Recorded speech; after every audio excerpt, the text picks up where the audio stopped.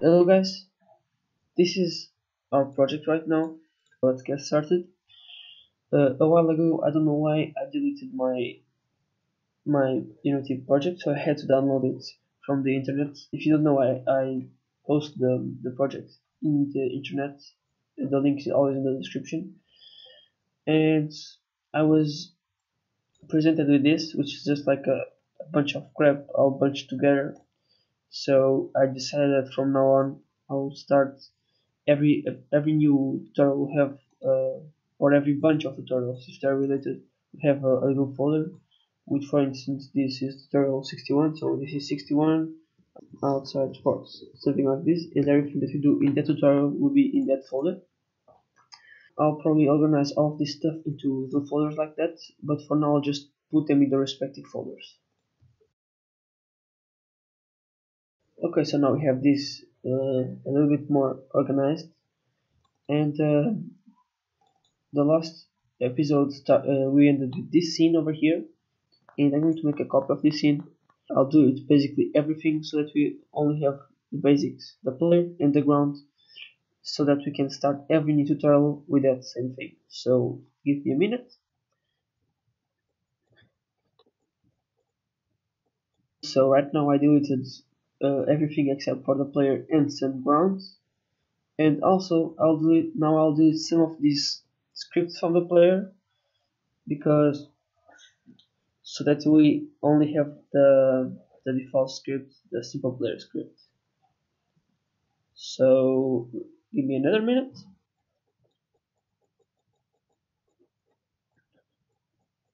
Besides those scripts I'll also delete this stuff because right now it won't be needed only the points that to check if the player is on the ground or not and that other stuff. Okay so that's done. This will be the default scene. So I'll save it. Here we have it default scene. And I'll just make a copy of it so that we can change this copy in this tutorial. So like I said this tutorial will be about an outside force.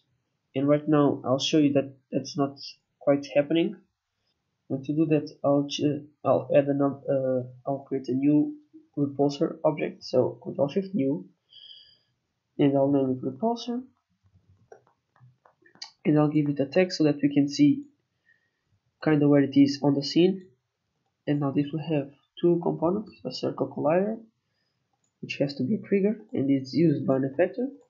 And it will have to have a point effector 2D with the magnitude it can be uh, repulsive so if you don't know what this does basically it makes the player go further away from this. Uh, let me change the radius because it's too small. There you go. Now if you see when the player goes onto it the player stops. And basically this shouldn't be happening. This is uh, kind of a bug because what should be happening let me show you. So if I disable this script and put it on here this is what should be happening. So as you can see the player jumps around like mad and now and not just stays like jumping around bouncing really slowly. So I'll make a way so that we can control the player. We can make the player go like woo in, in situations like this. So let's open the player script. And I'm going to add a, a variable a bool public bool outside force. And what this will do is like a, a variable that cancels the movement of the player because um, regularly the player is controlled by this and if you are not touching any keys then the, the player's velocity the, the player's horizontal velocity is the base speed which basically means is the speed of whatever the player is standing on. So if the player is standing on the ground this is zero. If it's standing on a platform that's the speed of the platform. Anyways in this case it will always be zero. So if we're not pressing any keys this will be zero. Then in this case because the x speed the horizontal speed is always zero when we when we do something like this that this happens which is not what we want. So I'm going to make a way to bypass this part of the code so that that doesn't happen so I just I just added this variable the public bool outside force Now, when do we want to make it active? Well, we want, it make, want to make it active when it collides with this. So I'll just make this, uh, make a little script here, turn outside force, something like this, real quick. And what this script will do is uh, on trigger enter 2D the collider to the other. If that collider is a player so if other dot tag equals player and I think that's uppercase. It is. Then we want to get the to find the, the the script on that player. So we want to get to other dot get component simple player zero which the script of the player and find the outside force and make it equal to true. Save. And this will turn the, the outside force to true.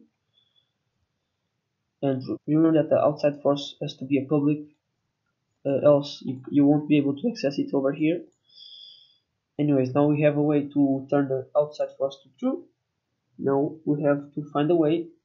Now let's program what that actually does. So like I said the outside force is a way to nullify this part. All I have to do is if not outside force. So if the if there is the player is moving like regularly then this happens. So if the player is being affected by an outside force we can't move using these keys so right now let me show you.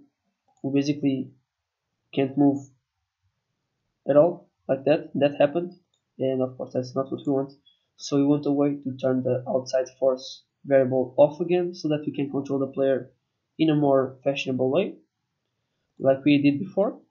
And that can be done here.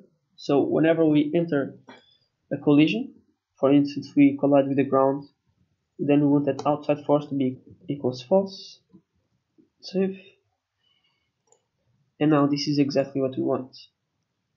As you can see the player is applied is affected by that in a like we wanted. And as soon as he hits the ground he stops.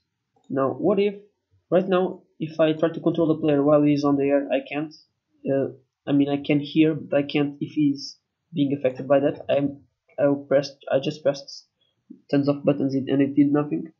And if I want to do that which uh, this is a choice you can do it or not I want to I want to do it. Just changing here to also turn outside force off here. So make it equal to false. And if you uh, I'll explain the code in the one of the next tutorials but basically what this line does is it checks if we start pressing any control key or stop pressing any of the control keys. So if we start pressing one or stop pressing one then we can control the player again. Save. And you'll see that now if I put the player in here and try to control it I can now do such a thing. Anyways this was today's tutorial. Thank you for watching and see you in the next one